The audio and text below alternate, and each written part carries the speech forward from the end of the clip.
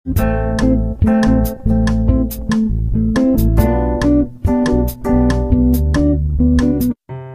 and welcome back to my channel blossom से दिलजा आज मैं आपको दिखाऊँगी कि इस बारिश की सीज़न में आप कौन कौन से ऐसे फ्रूट प्लांट्स हैं जो लगा सकते हैं। तो चलिए शुरू करते हैं हम अपना वीडियो तो सबसे पहले हम जिस प्लांट की तरफ़ आते हैं, ये हमारा है मलबेरी का प्लांट जिसे सहतूत का पेड़ भी कहते हैं, इसमें बहुत जल्दी फ्लावरिंग होती है, बहुत जल्दी फ्रूटिंग होती है। तो ये गमले में लगाने के लिए आपके लिए बेस्ट ऑप्शन है। इसको आप लगा सकते हैं और बहुत जल्दी फ्रूटिंग देखिए, हम आपको दिखाते हैं। अभी मैंने छह महीने पहले ही लगाया है प्लांट और इसमें देखिए फ्रूटिंग स्टार्ट हो गई है। ये देखिए फ्रूट्स आने लगे और बहुत सारे मैं तोड़ भी चुकी हूँ। तो ये बहुत अच्छा ऑप्शन है आपके लिए बारिश की सीज़न में लगाने के लिए, इससे अच्छे से ग्रोथ भी होगी और आपका प्लांट लग भी जाएगा। फिर सेकेंड हमारा आता है नींबू का प्लांट नींबू में आप बहुत सी वैरायटीज़ लगा सकते हैं, कागज़ी नींबू है हमारा। इसमें भी ये साल भर का ही प्लांट है, लेकिन इसमें नींबू भी निकले हुए हैं। और बहुत जल्दी ग्रो करता है, बहुत जल्दी फ्रूटिंग करता है तो ये भी आपके लिए एक अच्छा ऑप्शन हो सकता है। फिर हमारा नेक्स्ट आता है ये चीकू का प्लांट ये भी बहुत जल्दी फ्रूटिंग करता है, बहुत जल्दी ग्रो हो जाता है. तो ये भी हमारे लिए बहुत अच्छा ऑप्शन है घरों में लगाने के लिए. इन प्लांट्स में आप ये ध्यान रखिए, अगर आपको हाइब्रिड वैरायटी मिल जाए तो बहुत बढ़िया बात है, क्योंकि हाइब्रिड वाली जल्दी फ्रूटिंग करती है. और फिर नेक्स्ट आता है हमारा ये, देखिए अंगूर की बेल है. इसको तो मैंने अभी दो महीने पहले ही लगाया है। आ, ये भी आप बारिश की सीज़न में लगा सकते हैं। अभी इसकी ग्रोथ उतनी अच्छी नहीं है। जैसे जैसे बरसात शुरू होगी इसकी ग्रोथ भी बहुत अच्छी हो जाएगी।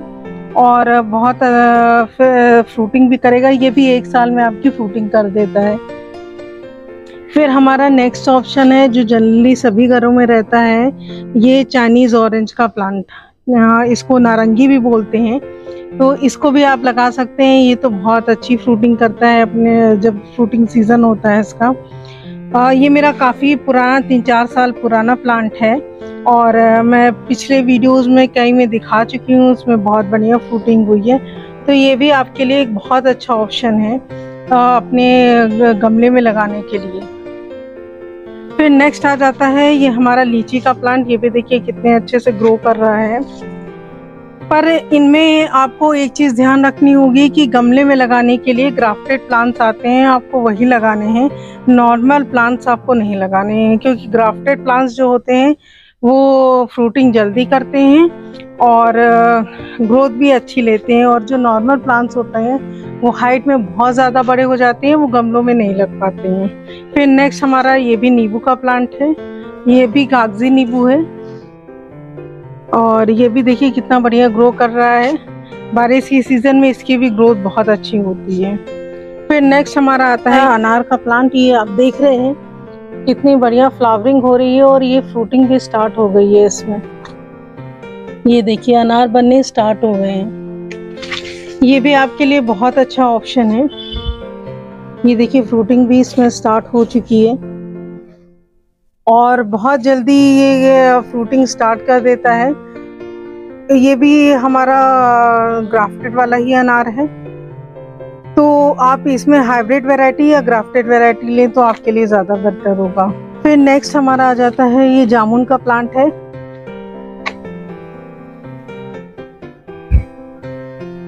ये जामुन का प्लांट है, ये भी देखिए ग्राफ्टेड ये इसकी ग्राफ्टिंग है।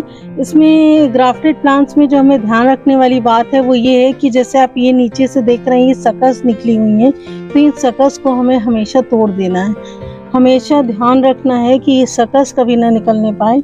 अगर ये सकस निकल जाएँगी तो ये फिर नॉर्मल देसी वाली वैरायटी हो जाएगी और आपका ग्राफ्टिंग का कोई यूज़ नहीं रह जाएगा। तो ग्राफ्टिंग के नीचे से जितने भी सकस निकलते हैं, आपको उसको हमेशा निकालते रहना है।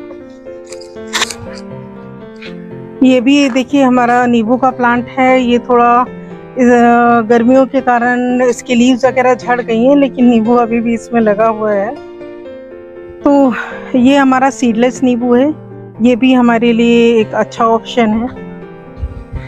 फिर ये हमारा मैंगो का प्लांट है। ये भी आप देख रहे हैं यहाँ से। ये ग्राफ्ट किया हुआ है।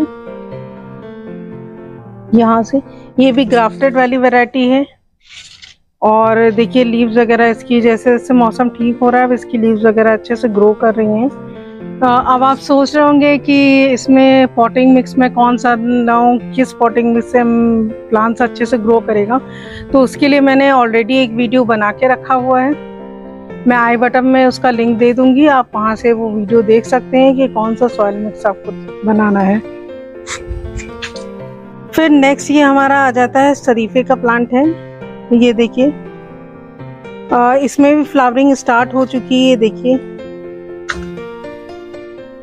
ये भी मेरा कुल साल भर पुराना ही प्लांट है और ये भी ग्राफ्टेड है। देखिए, यहाँ से ये ग्राफ्ट किया हुआ है। नर्सरीज में ग्राफ्टेड प्लांट्स आपको बहुत आसानी से मिल जाएँगे, बस इनके रेट थोड़े हाई होते हैं। ग्राफ्टेड प्लांट्स बहुत जल्दी अच्छे से ग्रो करते हैं, बहुत जल्दी फ्रूटिंग करते हैं और गमले के लिए बहुत सही रहते हैं।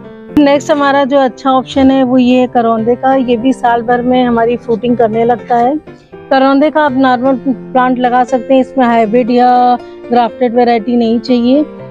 चाहे तो आप ये आपके ऊपर डिपेंड करता है। चाहे तो आप हाइब्रिड वाली वैरायटी लगा सकते हैं बट ये नॉर्मल हमारा देसी करौंदे का पेड़ है। और ये भी बहुत जल्दी फ्रूटिंग करने लगता है तो इसमें हमें ज़्यादा पैसा खर्च करने की ज़रूरत नहीं है। नॉर्मल वैरायटी भी हम इसमें यूज़ कर सकते हैं। और ये है तरबूज की बेल, ये भी आप इस सीज़न में लगा सकते हैं। बहुत अच्छे से बढ़ेगी एक्चुअली क्या होता है, गर्मियों की वजह से बहुत सी सब्ज़ियाँ, बहुत से फ्रूट्स जो होते हैं, वो मरने लगते हैं। लेकिन जैसे ही बारिशें शुरू होती हैं, बहुत बढ़िया से फ्लावरिंग और फ्रूटिंग करने लगते हैं। इसके बगल में आप, ये मेरा भिंडी का प्लांट जैसे देख रहे होंगे। देखिए कितनी बढ़िया फ्रूटिंग कर रहा है, फ्लावरिंग भी। मैंने पिछले वीडियोस में भी आपको दिखाया है कि भिंडी की कितनी बढ़िया फ्रूटिंग हुई है और मुझे बाज़ार से खरीदने की ज़रूरत नहीं पड़ी। अमरूद की मेरे पास तीन वैरायटी हैं। एक तो मेरा ब्राउन फ्लोर में लगा हुआ है और ये वाला जो है, ये हमारा पिंक गुआवा है। अंदर से पिंक निकलता है और मैं इसके आपको वीडियो दिखाऊँगी जब इसकी फ्रूटिंग हुई थी, इतने बड़े बड़े साइज़ के इसमें अमरूद निकलते हैं। तो ये भी आपके लिए एक अच्छा ऑप्शन है। सेकेंड ये मेरा वेरीगेटेड गोवा का प्लांट है। इसमें अभी फ्रूटिंग स्टार्ट नहीं हुई है। तो अमरूद भी आपके लिए एक बहुत अच्छा ऑप्शन है जो आप लगा सकते हैं। इनको आप इस तरह के प्लास्टिक के पॉट्स में लगा सकते हैं। या फिर आप जो पेंट की आपकी बाल्टियाँ होती हैं उनमें लगा सकते हैं बीस लीटर वाली। या जो बड़ी बड़ी चावल की बोरियाँ होती हैं उनमें भी आप लगा सकते हैं। और सॉयल मिक्स आप देख ही लेंगे जो मैंने पहले वीडियो बनाया है उससे कि कौन सा सॉयल मिक्स यूज़ करना है। तो ये था हमारा आज का वीडियो हमारे फ्रूट प्लांट्स के बारे में। आ, कि आप फ्रूट प्लांट्स कौन कौन से इस सीज़न में लगा सकते हैं और कैसे लगा सकते हैं। जो भी हमारे नए व्यूज़ हैं प्लीज़ सब्सक्राइब करिएगा। अगर आपको वीडियो अच्छा हो, लगा हो तो प्लीज़ कमेंट करिएगा। और अगर आप हमारा वीडियो फेसबुक पे देख रहे हैं तो प्लीज़ फॉलो बैक करिएगा। और keep watching and thank you for watching this